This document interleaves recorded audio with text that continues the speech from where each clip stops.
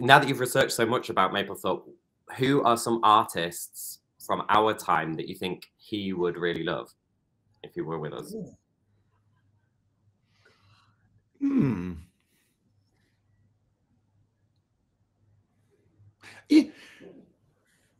Yeah.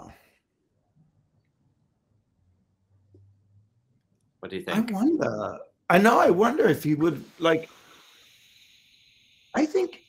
he always liked his art the most. I think. Yeah, that's true. of other artists during his when that's he was true. alive.